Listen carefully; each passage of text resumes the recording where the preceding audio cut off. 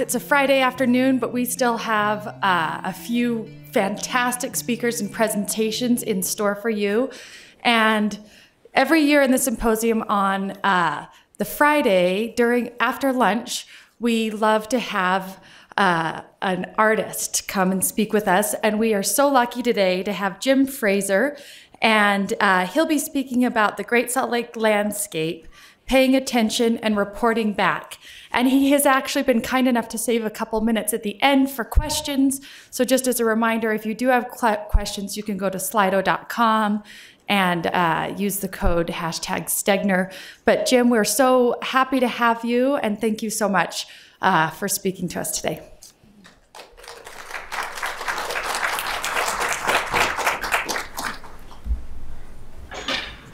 Well, um, thank you for having me. I certainly appreciate it. There isn't anything else we could be talking about, I don't think, that's more important. So, uh, we've heard thoughts and opinions and analysis about the lake from a really wide variety of people and observers, and I'm here to give the artist's point of view or perspective. So, we might ask, why could that be valuable? And one reason that many people uh, value uh, experiencing art is that it awakens in them an experience or a sense of wonder, something that we remember maybe only half consciously from when we were kids. Um, it's the feeling of seeing something for the first time without that feeling or filter of repeated exposure. Uh, and we want to keep those experiences. They're something that we want to kind of collect and treasure, like the especially pretty rock from the stream or the seashell from the shore. Uh, and so we keep them. And it's said that collecting is an attempt to use visible objects uh, for uh, to connect with ideas and concepts, feelings that are invisible outside of the physical realm. So, wonder and mystery then give way to curiosity and the urge to find things out. And this is the point at which any of us can go from looking to participating. The conceptual artist Joseph Beuys famously said, Everyone is an artist. And an extension of that is everyone is an artist, but only the artist knows it. T to me, that's saying that the working methods of art are accessible to everyone, but it's up to the individual to decide to use them. And when I say that, I don't mean like how you have technical expertise to manipulate paint or wood or something. I'm referring to the way in which the artist encounters the world, uh, what they find around them, and communicates those experiences back to the audience. so for me, the two essential activities of the artist are in this uh, title here paying attention and reporting back. and I take these remarks, um, these, this definition from remarks made by the filmmaker James Benning. And I'm going to try to get this to play. Um, between 2005 and 2008, Benning made 16 trips to the Great Salt Lake, to the Spiral Jetty, and the result was his film Casting a Glance, which was screened at Sundance in 2008. The film consists of a series of shots, each about a minute long, which the camera is locked in a single position, and the only action is the movement of the sky, the water, the light, what's going on at the time, the ambient sounds. In the Q&A after the film, Benning gave his definition of what it is to be an artist. he said, an artist is someone who pays attention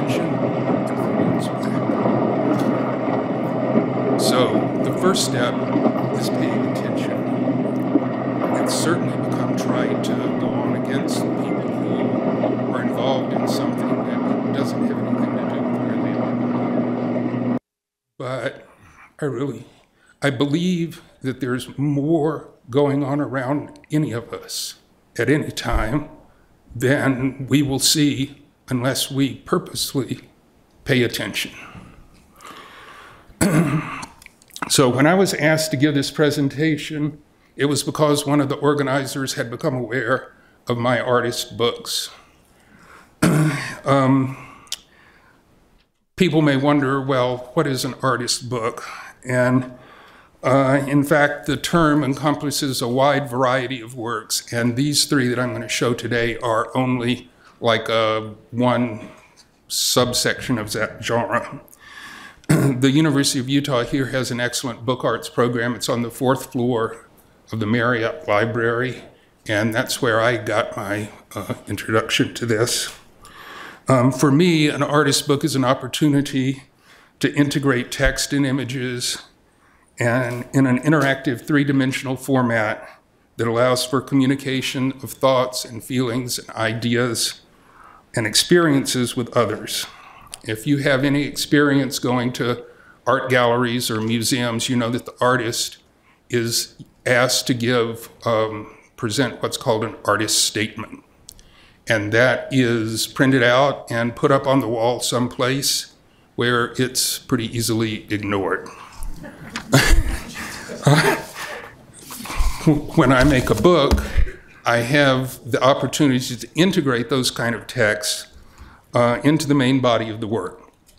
I also have the opportunity to, to suggest, uh, through the structure of the book, the order in which I'm trying to present, uh, invite the viewer to encounter the work.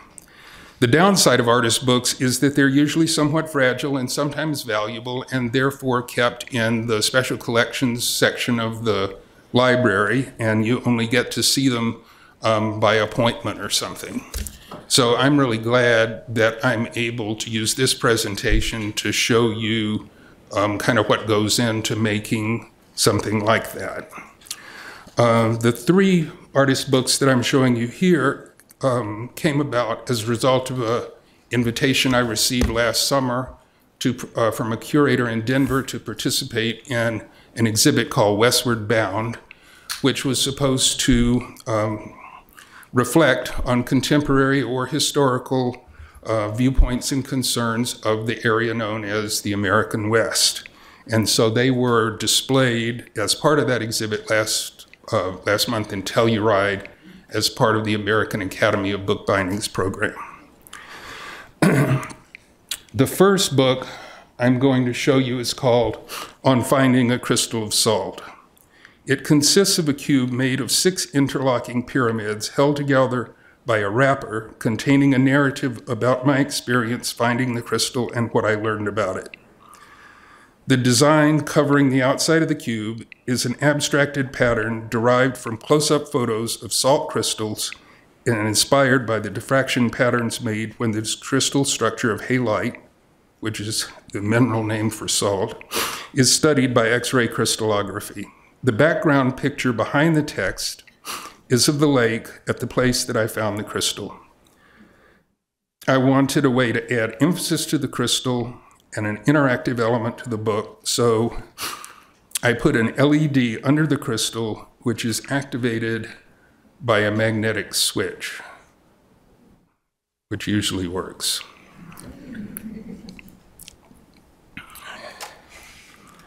So, uh, on a visit to the Spiral Jetty in 2017, I saw someone reach down into the salty pools that are there when the water is at a certain level and pull out a pyramidal crystal of salt. The form of the crystal was fascinating to me. It looked like some kind of ancient Mesopotamian ziggurat from Babylon or someplace. Later, when I did research, I found that this is what's called a hopper crystal. It results from uneven growth.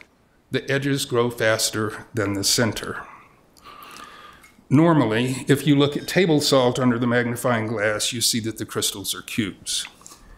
However, if you look at what's known as fleur de sel, you see those crystals are the same form as the ones that I was given, only much smaller.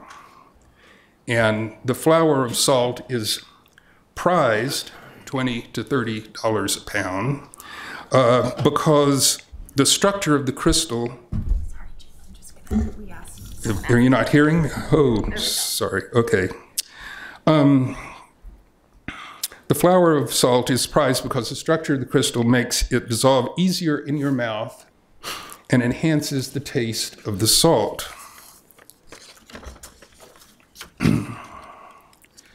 This particular property of the salt, that's kind of crystals, was noticed by the Frito Lay Company. They use a lot of salt. In 2020, everybody had to have a pandemic project, and one of their pandemic projects was to figure out how to artificially grow these type of crystals. So they went in their lab with some salt water and some industrial strength Everclear, and they figured out that if you add about 2% of ethyl alcohol to your saturated salt solution, you can grow these kind of step pyramid crystals, artificial fleur de sel. As a result for this, they applied for and obtained a patent in 2021, which is the document here, for the commercial production of these kinds of salt crystals. Their reasoning behind this was since this type of crystal tastes saltier per pound or per ounce than regular salt, if they use these kind of salt, they can claim reduced sodium. So you can see the similarity between the drawing on their patent application and the illustration on the wrapper that contains the pyramids in my book. The reason that I'm dwelling on this is not because there's any connection between the Great Salt Lake and Fritos. Uh, it's because looking, researching, and understanding what you see or what you're holding in your hand is part of paying attention. Now, the next book is called A Precious Bit Remaining, uh, which of course refers to the present state of the Great Salt Lake, which is rapidly drying up and whose ecosystem is in process of collapse. This bookwork is in the form of a reliquary for the lake, referencing the ornate containers made to house the relics of saints, often bones, in medieval Europe. The relic here is a bone, probably from a seagull, which is Utah's state bird. It's that I found by the lake, just as the bones of the saints were often encrusted in precious jewels, this bone is encrusted in salt crystals. It's hidden behind doors in the interior of the book structure. In order to access the relic, it's necessary to unfold several pages of images and text about the lake. The text pages are photo collages combining my photographs of the lake and its surroundings with images of historical maps and documents about the lake that predicted over 100 years ago that the lake would dry up because of the diversion of water for irrigation. So now I'd like to go through and talk a little bit about each of these text pages. This is a title page, and under the title page is a photograph from 2019 of the beach at White Rock Bay at Antelope Island. And uh, the water hasn't been up that far since then, to my knowledge. Next, there are a series of four text and photo collages. The first of these centers around a map made by Baron La Hontan, published in 1703. The Baron, like many others, was looking for a water route that would connect the Mississippi to the Pacific. Let's, let's see. There's the Mississippi, and he's trying to go this way. His map is very inaccurate to the point of becoming fanciful. His account of meeting with the Gnacsitares and their Mozambique slaves who knew the Tahuglauks, who lived by a salt lake a thousand miles in circumference, certainly sounds far fetched. It is described in the text on the right here. the Salt Lake is way over to the left, right there, next to the word Mozambique. And the lozenge shaped objects there in the center, those are supposedly medals that were worn um, by some of these folks and who supposedly were made by these Tahuglauk people. And it's the account says that they looked like copper and had the property that when they were heated, they got heavier. Well, it's interesting that copper does appear to get heavier when it's heated, because when it's heated, it tends to oxidize, and the weight of the oxygen is added to the weight of the copper, and so it appears that the metal is, the, well, the whole glob is a little bit heavier. Uh, and today, we know that copper obviously does occur in the vicinity of the lake. The uh, the mine out there at Bingham Canyon is said to be the most productive in history. Uh, let's see. I have just gotten myself messed up here. Hmm. there we go. Okay, so at the bottom then, great blue heron, the egret, and then at the very bottom, the California gulls. So those are all there by the lake. On the next page, we see the very first monograph of the USGS. It's about, the title is about Lake Bonneville. Captain Benjamin Bonneville was an early explorer who published what was arguably the first map of the Great Basin, which showed exclusively an interior drainage. Uh, on that map, which is reproduced on this page of my book, Bonneville named what we know today as the Great Salt Lake after himself. The author of the Geological Survey report, Grove Karl Gilbert, however, chose to name the much larger prehistoric lake, Lake Bonneville, and that's the way that we know it today. Captain Bonneville had many adventures in the West, but he didn't compile them into book form himself. Instead, he sold his story to Washington Irving, who was better known for writing about Rip Van Winkle and the Headless Horseman. Irving published The Adventures of Captain Bonneville based on notes from an expedition of 1832. Bonneville's tales of the Great Salt Lake proved to be too much even for Washington Irving, who deemed them, quote, clothed by his imagination with vague and ideal charms. It is now thought that Bonneville never saw the lake himself. Irving says he has evidently taken part of his ideas about it from the representations of others. The USGS monograph, though, correctly predicted the present state of the Great Salt Lake, where the islands have ceased to be islands but are instead connected to the mainland. And here's the excerpt shown on this page here um, under the heading Future Changes. says those human agencies which tend to increase the water supply of the lake, namely grazing and draining, have acquired a status that is practically permanent, but those which tend to diminish the supply, namely plowing and irrigation, have not yet ceased to increase. Human agency is thus destined to play an important part in the determination of the future history of the lake. The next 10 years will witness its shrinkage for lack of affluent water to a size smaller than has before been observed. The final system of irrigation will include the storage in artificial reservoirs of the flood water of all the minor streams and will cause the lake to be deprived of all inflow except from saline creeks and from the unused share of Bear River. One effect of such a contraction of the lake will be to simplify its outline. Antelope, Stansbury, Carrington Hat, and Dolphin Islands will be permanently united to the land. Bear River Bay will be drained nearly to the southern extremity of Promontory, and the bay east of Antelope Island will be drained nearly to the northern end of that island. This was 1890. And of course, this is exactly what's happened. Uh, thankfully, it took longer than 10 years. Uh, the map here of Stansbury Island shows, um, the contemporary map shows it connected to the main um, area. And uh, of course, there's the American avocet, which is one of the birds that we commonly see around the, on the lake.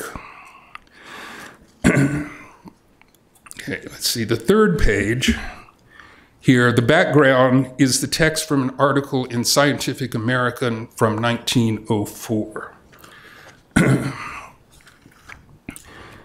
now,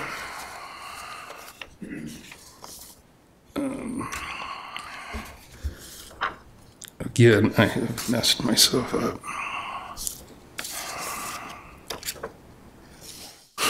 Okay, so it says here, um, again, this is like, it's presented graphically as a background, but the idea is that you're supposed to pay enough attention to it to read some of it.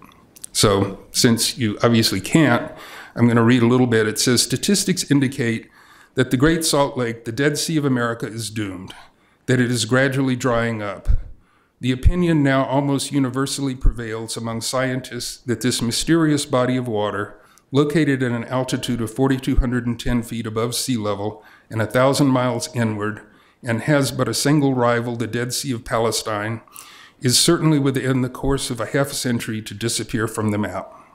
Some scientists who have made a careful study of the fluctuation of the lake for the past several years even declare that it will be dried up within a quarter of a century a discussion of the lake's fluctuations and theories about where the water comes from and goes follows. And here is the final paragraph.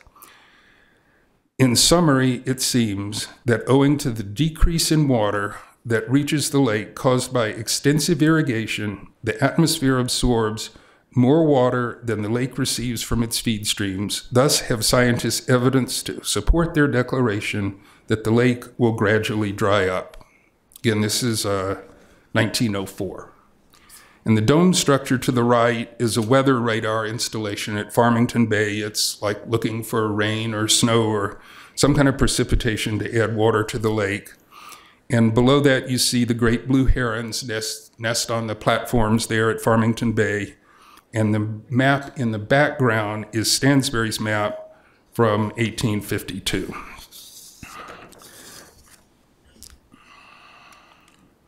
The background on the final page is of the dry lake bed at the Howard Slough Wildlife Management Area near Roy. And there is attached to this a little booklet that I made concerning containing excerpts from the transcripts of the proceedings of the Irrigation Congress held in Los Angeles in 1893. And this image shows the inside of the book. You can see on the right some of the remarks made, made by John Wesley Powell, the explorer of the Colorado River and the first director of the U.S. Geological Survey. Some of you are probably familiar with some of what Powell said, but I want to read it because it is so clear and so clearly relevant today. Major J.W. Powell, upon being introduced, spoke as follows. The water which is showered upon the land comes from the heavens. There is a runoff from the mountains down to the plains and in the valleys, but gradually the stream becomes smaller until all the waters are evaporated. All are returned to the heavens. Now, what I wish to make clear to you is this there is not water enough, runoff water enough, to irrigate all the lands that when all the rivers are used, when all the streams are used, when all the canyon waters are taken up, when all the wells are dug in this arid region, there is still not sufficient water to irrigate all the land. There is not sufficient water to irrigate all the land which could be irrigated. All the irrigable land, only a small portion of it can be irrigated.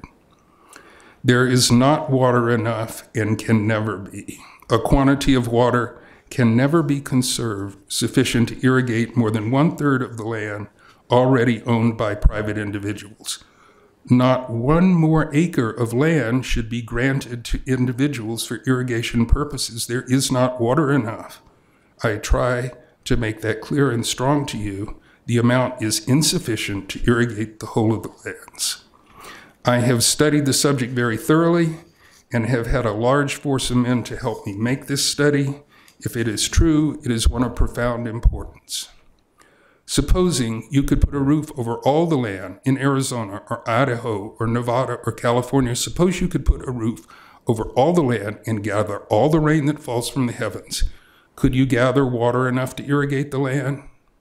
I ask you the question, men of common sense, to appreciate the fact, appreciate the quantity of water which falls from the heavens, quantities of water which are necessary for irrigation.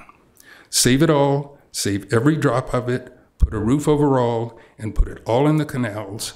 Even if you could gather it all, it would not irrigate it all.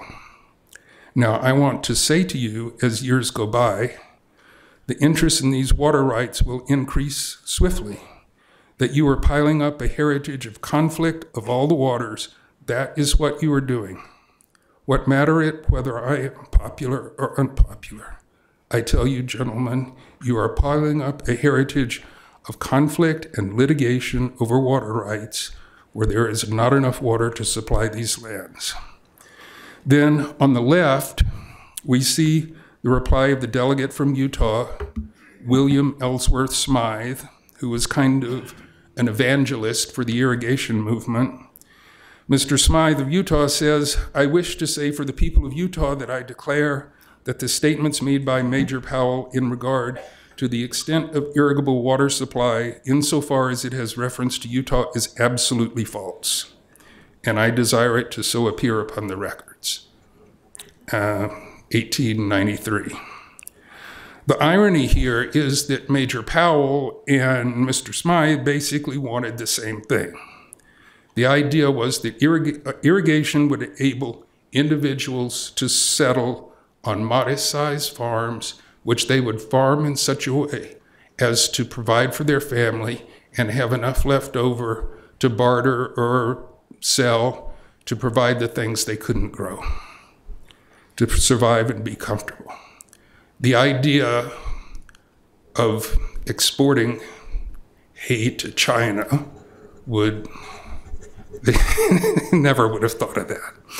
So the idea of the land coming with water rights was to ensure that some large developer upstream didn't compound the water and then force the farmers downstream to pay for it.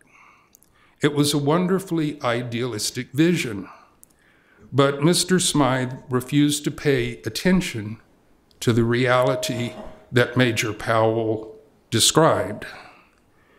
And I think that's important partly because as artists, we tend to be idealistic. And it's kind of part of the job of both artists and scientists to figure out some way to do something that everybody else says is impossible. So paying attention can get tricky. it's now obvious that pretty much nobody paid attention to uh, Major Powell at the time, and we are in the position that he predicted. The chart on the left hand side of my little booklet shows only a partial list of the water rights litigation that's going on at the present time.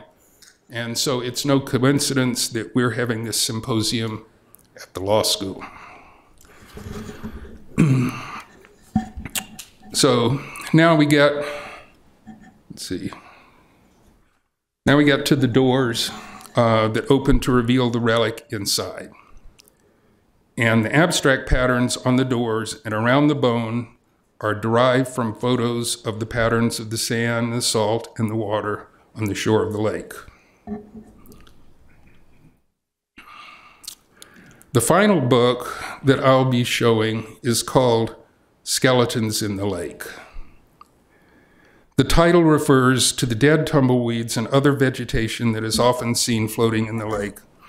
Those skeletons are used as metaphors for the lake dying as a result of its water being cut off, allowing what remains to evaporate away. The inner panorama that is revealed when the book is completely open is a White Rock Bay at Antelope Island State Park. I'm standing on the white rock seen in the foreground. The rock is supposed to be surrounded by water and inaccessible from the shore as a nesting place for birds. The receding lake level has extended the beach all the way out to the rock so that visitors regularly climb on it. There's a text there at the bottom that describes the situation. Skeletons in the lake. Dead but floating, beautiful but fragile. Or because fragile, we are fragile like that. Now there is still water to float the fragile and reflect the sky. When the water is gone, nothing will float. There will be skeletons resting on a greater skeleton, the dead lake. Sometimes we feel we see beauty in dead things, the smoothness of polished bones, the bewildering interlacing of cracks as the earth skin dries and pulls apart. But we will struggle to find beauty in clouds of poison dust sweeping towards us on the wind. We won't be there to see the beauty of our own bones when the water's gone. So, we are here now to figure out how that doesn't happen. I hope that all of us we've we're here and the ones that have presented and will present are able to figure out something. And uh, I appreciate you for paying attention.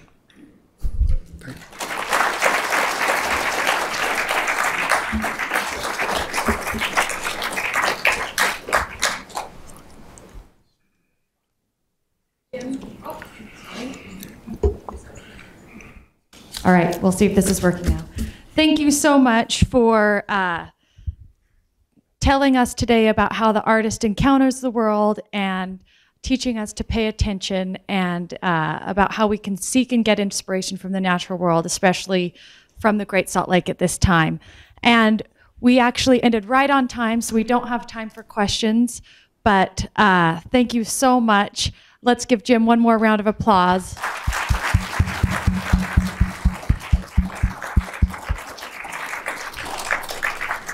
Thank you again, Jim. I know that provided inspiration for me, and I could tell from the audience uh, and from the questions we received that it provided audi- that it provided inspiration to all of us.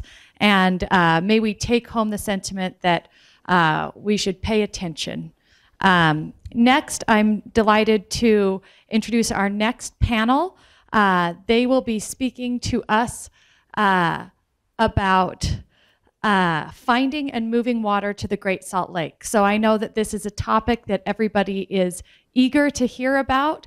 And uh, our three panelists almost need no introduction, but I'm going to give a quick introduction uh, just in case. And if you want to find out more information on the panelists, you can see their bios uh, on the website. And again, I would encourage you to go to slido.com if you have any questions, and uh, we'll have some time for questions at the end. So let's bring our panelists up here, and then I'll then I'll introduce them.